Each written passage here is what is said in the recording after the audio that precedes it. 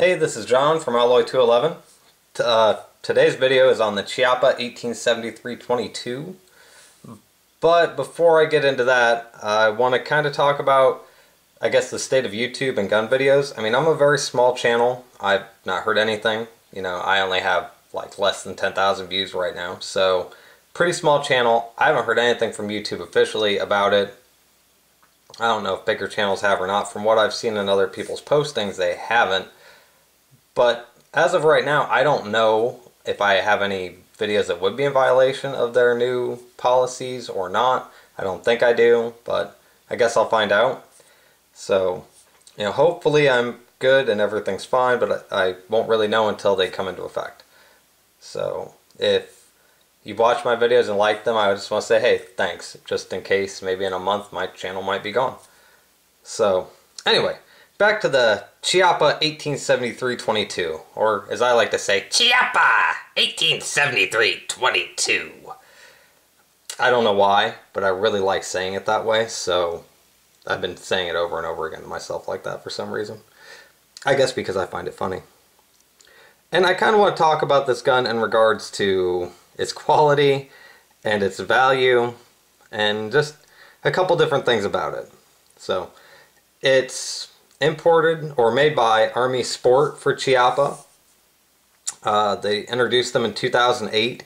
It's available in 22, 22 Magnum, 17 HMR, and in a 6-shot and a 10-shot cylinder. This is a 6-shot 22 long rifle, and I do not have the 22 Magnum cylinder with it. It only came with the 22 long rifle. And from what I read in a review or two about that, I don't know if I'm really that upset about it because they didn't really have a lot of good to say about the 22 Magnum cylinder in this. And overall, I'm not uh, I'm not thrilled with this gun. I I'm not really upset about it either. I paid $80 for it because I had a Gander Mountain gift card and it was $130 and I couldn't bring myself to spend the $50 gift card on anything else there because their prices were so bad probably one of the reasons why they went out of business, but not yet I digress. Um, anyway, so it only cost me 80 bucks, and that's why I bought it. And for 80 bucks, I don't regret having bought this gun at all. It's a cool little 22, and I'd wanted a 22 revolver for a while, be it single action or double action, and at 80 bucks, there you go.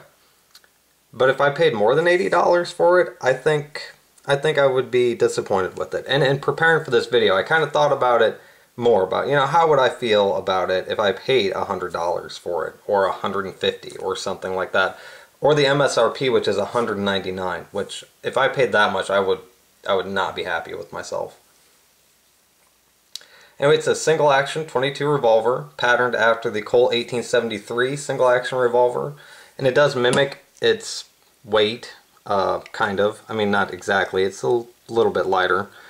And actually its balance is weird because the frame is made out of an, oh what is it, zinc, aluminum, magnesium, copper alloy. I believe it's called Zamac. So it's basically like a pot metal frame. It's got a steel barrel insert and it's got steel lined cylinders. And I'm not totally sure if the cylinder itself is made out of steel or not. It feels a lot heftier than the frame, so it may be. But regardless of that, with this light alloy frame, all your weight tends to be centered up here, and it's just not really that well balanced. It feels, I know, backlight, I guess. Front heavy, backlight. I mean, front heavy is kind of subjective because it does feel a little bit heavy in the muzzle, but it's more that it feels light back here. It just feels out of balance, which is a shame because uh, you know, I, 1873 really is a generally well-balanced feeling gun, especially with this barrel length. Some other things are disappointing that maybe you could kind of see there. Uh, there's casting mark here and there. I mean, at least they took most of the casting marks out of the barrel. Just not way back here at the back or at the front of that.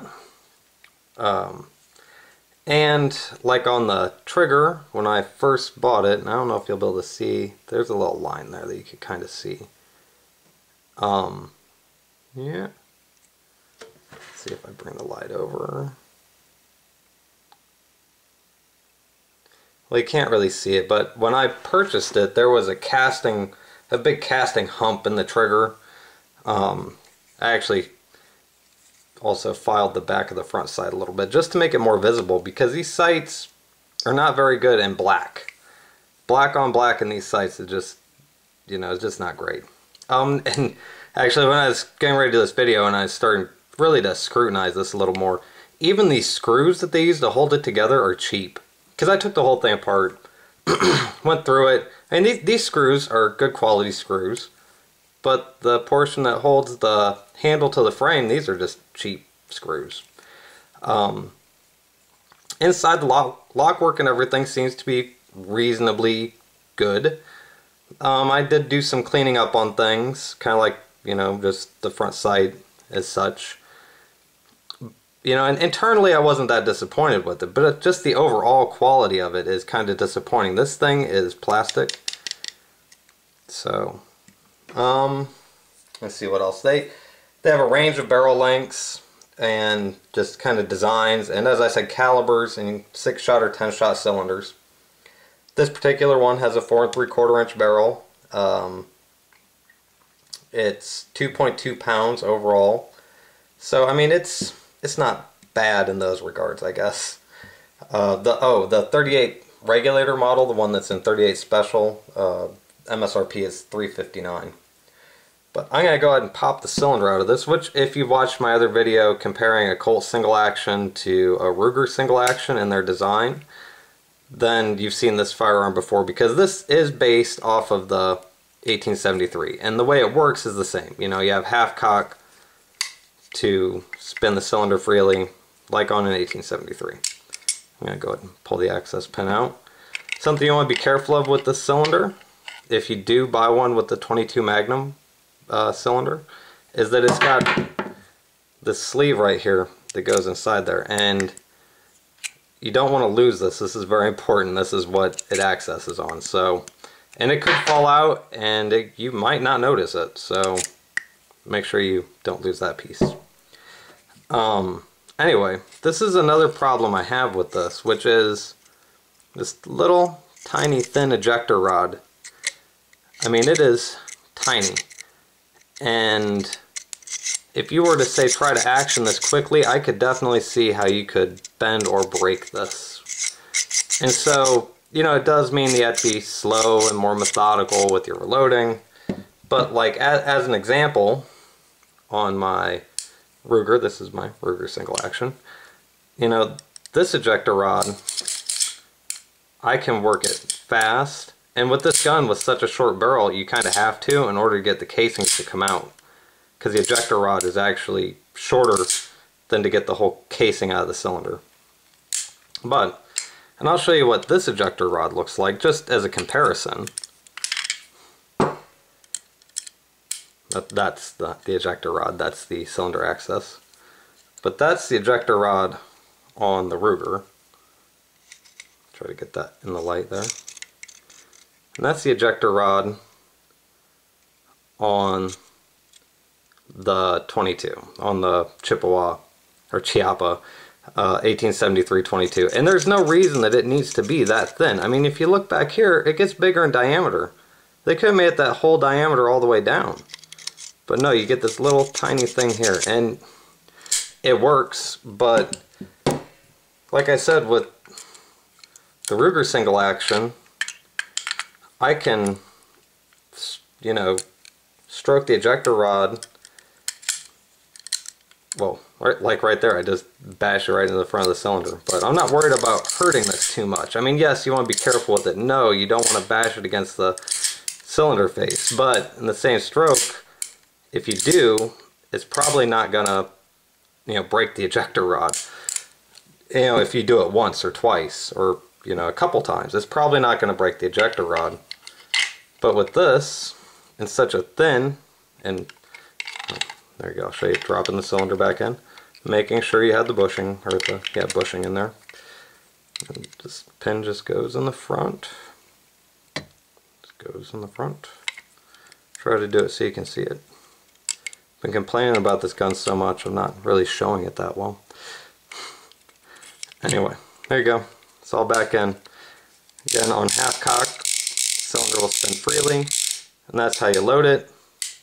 Um, this doesn't have a transfer bar safety or anything, so I mean this is not, this is a gun if you were going to carry it with rounds in it, you'd want to carry it on an empty cylinder, especially being a 22. Um, and, and overall, do I think that this is a gun that someone who say wants to get into a single action but they don't want to spend money for something like this, should they buy this to just see if they like it, to test the water? And I'll say if you can get this, find it for something like 80 bucks or 50 bucks, I would say it's fine to buy. But any price over that, I there are way better options. Especially on the used market. You know, on the used market you can find better options than a single action, be it a 22 or even a center fire, than buying this. Like I said, do I regret it? No. But if I'd spend any more money on it, I probably would. And does it function? Yeah, it functions. And is it accurate? I don't know. I've never really shot it for accuracy, but you know, having shot it and hit things with it, I'd say practical accuracy. It's as accurate as my Beretta 21A, which if you've watched that video is a small 22 Beretta that fits into your hand right there. It's got like a one inch barrel. So, I mean, to say, oh, it has comparative accuracy to a small semi-automatic firearm with a one inch barrel, that's not really favorable to this to this gun. So, all in all, if it were a really good deal, I'd say yeah, go ahead. If it weren't a really good deal, then I would say find something better. Anyway, thanks for watching. If you liked the video or found it informative, go ahead and hit the like button. And if you watch some of my other videos and you enjoy that stuff too, subscribe. Hopefully I'll still be around for you to watch more videos. As long as I get to post I will keep posting videos. So thanks. Have a good day.